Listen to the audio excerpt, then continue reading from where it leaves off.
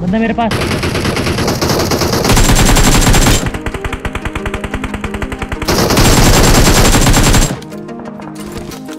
एक इधर बंदा है। बहुत बढ़िया बाबा।